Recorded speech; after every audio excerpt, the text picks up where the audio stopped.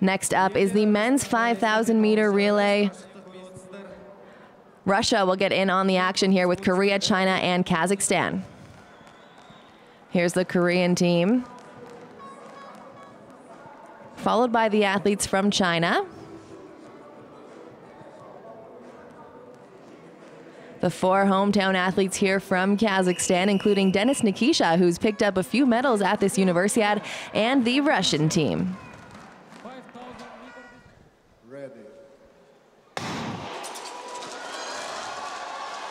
This race may look like it's not as fast, but when these guys get going, it is almost impossible to watch all the action. 10 seconds into this race, China has the lead.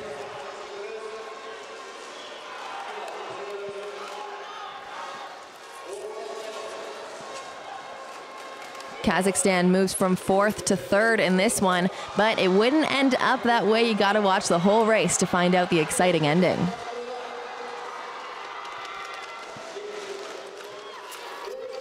Four minutes into this one, China leads the way, followed by Korea and Kazakhstan. Russia, they're in last.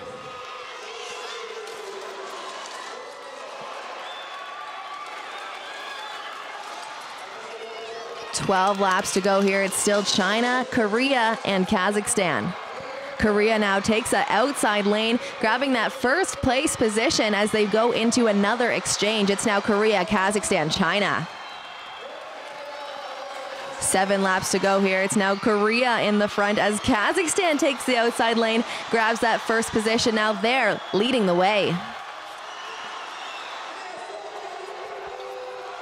It's a close one here between Korea and Kazakhstan as they go around. Kazakhstan leading the way now, two laps to go.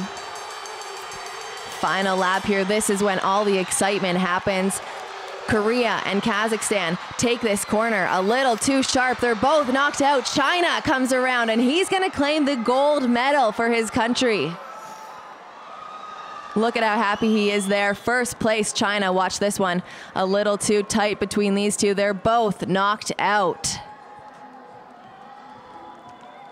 It's Korea first, then Kazakhstan, both into the sides of the race. Kazakhstan not happy with this. Then they were leading the way for most of the time, but China will take it. Then Russia, Kazakhstan will grab gold. Now for the men, the Chinese athletes have won gold in this 5,000 meter relay event. The flags were raised for China, Kazakhstan, and Russia, and this will end the short track speed skating event.